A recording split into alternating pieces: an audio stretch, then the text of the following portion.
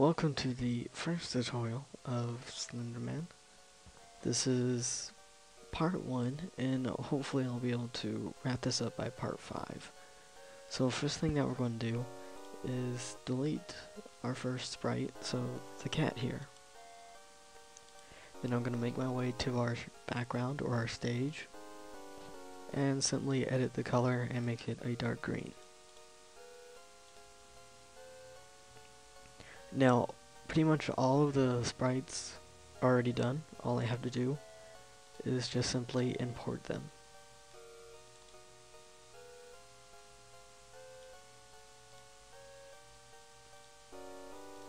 Now, if you guys want the same sprites, or if you want something to reference to when you are making the sprites, you can uh, easily download this file at Mediafire and I'll have a link in the description below.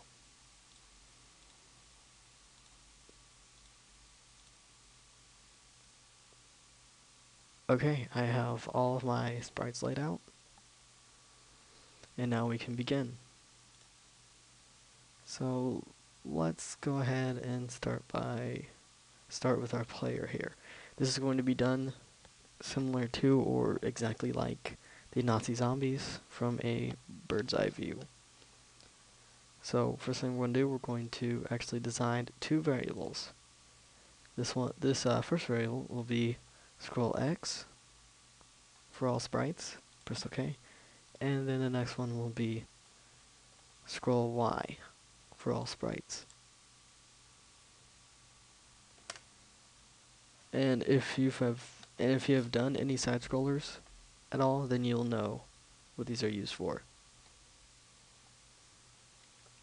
Right, then we'll go into control, pull out when flag is clicked, uh, when flag is clicked, set Y and then set X. Gonna go to our variables, pull out these going to go to operators and we'll get plus and times or multiplication. Duplicate it. You want to place scroll Y in one of them and scroll X in the other one. Then type 480 in the center on both of them. Then place 0 in the last slot.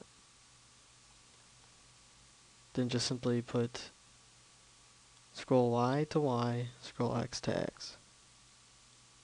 Now before we hook this in here, we'll go back to our variables and we'll pull out set scroll X to 0 and we need set scroll Y to 0.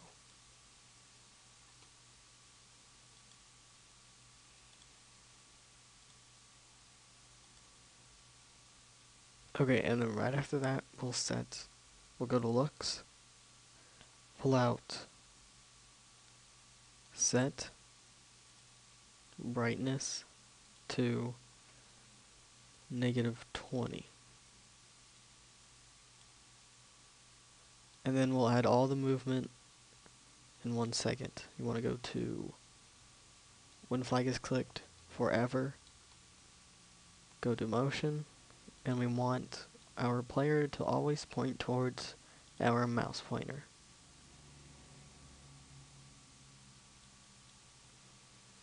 Now we can add in all the movement. Go to control when flag is clicked, pull out a forever loop, and pull out about four if statements. Then go to uh, sensing. Key space when the key space is pressed, go ahead and duplicate this four times. To a total of four. Place them in the slots of the if statements. And then whatever feels more comfortable for you, either the arrow keys or S, W, A, and D. Let's go ahead and place it in there. So I'm going to do A, D, W, and S. Now what this does here is, so when the game starts, the forever loop will cause it to go forever, and it will not stop. So it will repeat all of these actions. But it will repeat these actions only and if only a certain key is pressed. So if a key is pressed, then it will perform that action. Now what those actions are, are going to be the character's motion. So we're going to go to motion, pull out change x, by, change y by 10, and then change x by 10. Duplicate them both. And we don't want our character to be that fast, so we'll bring it down to about, turn all of them to about 3.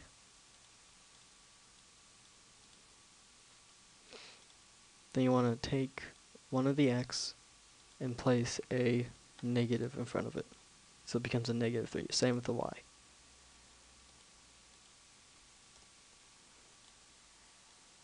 Then we'll place our positive y in the W slot, our positive x in the D slot,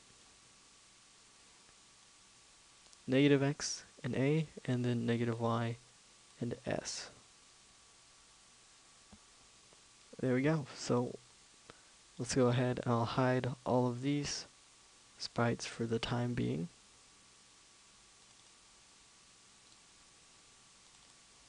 just so we can get a look on how things are. So when I run this, as we can see, our character moves around. He always points towards our mouse. Okay, so on our light, we uh, we just need to add a nothing too too overcomplicated. Something uh, I don't know, kind of simple. So we're to go to when the flag is clicked, and uh, we're going to go back to looks, set, ghost, to 35. Then beneath that we'll have a forever loop.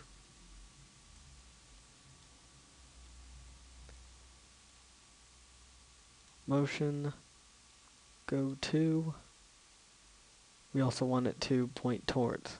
Now it's going to go to our player and then it will point towards mouse pointer. And then what Ghost does is it simply makes this transparent. So right now it's not it uh it over it covers up other sprites. So when I activate this, you can see it becomes uh see-through or transparent. And if it's uh, and if it's above our uh, our player here, just simply take your mouse pointer, hover over the player, click it, and drag them above it.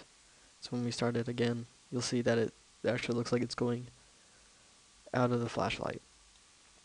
Now, if it doesn't look like this, and if it's way off to the side or something, simply go to the costume itself, edit it, you'll need to adjust the set the center.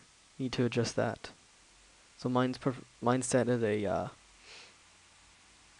at a good spot right now, so it doesn't appear to have any trouble or anything. Right there we go. Right, then we'll move on to Slenderman.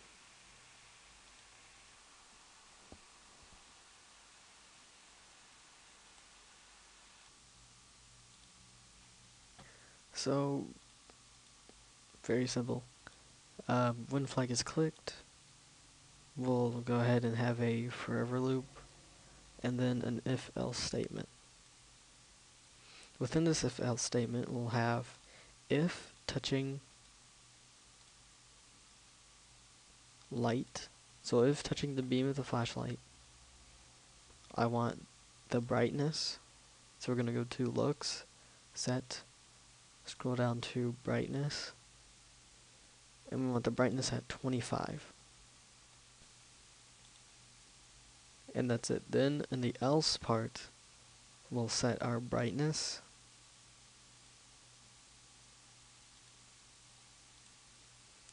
to distance.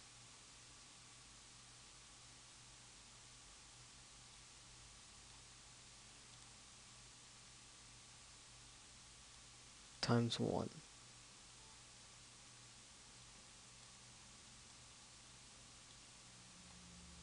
This will be distance to player.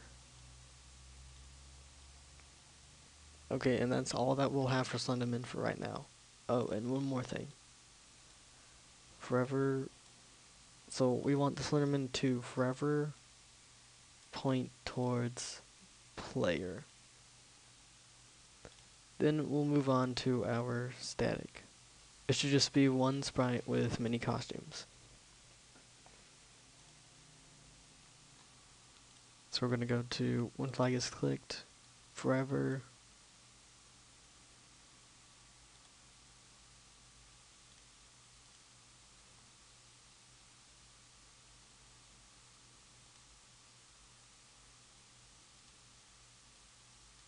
Okay, before I uh, go any further, I'm just going to go ahead and change this to static.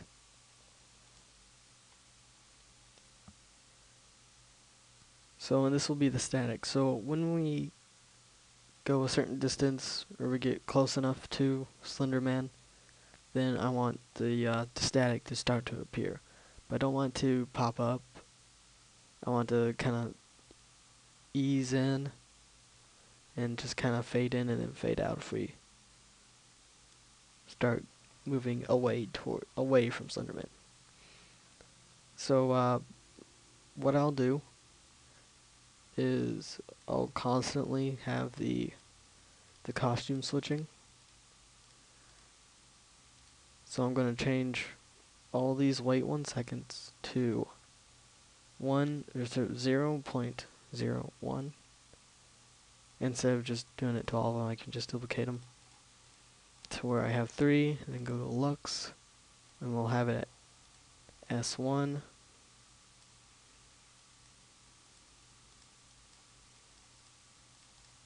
Our S2,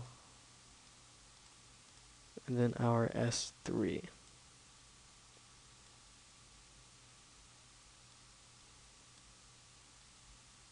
Alright, there we go. And then separate or away from this, I want it to be when flag is clicked forever. And we'll make a new variable. This variable will be called fuzz.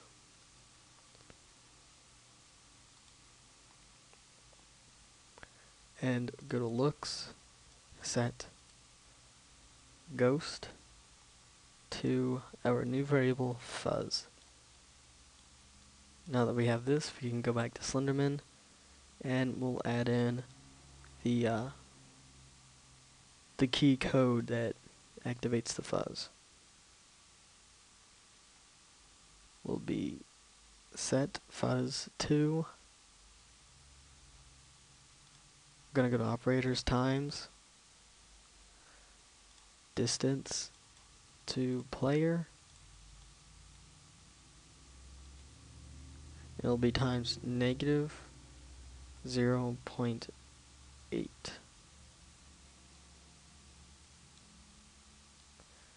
Place that right there. Click check through everything. Okay, now let's go ahead and run this and see how it looks.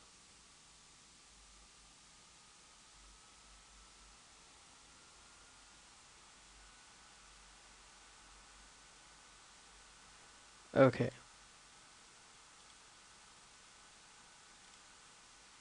I forgot to, uh,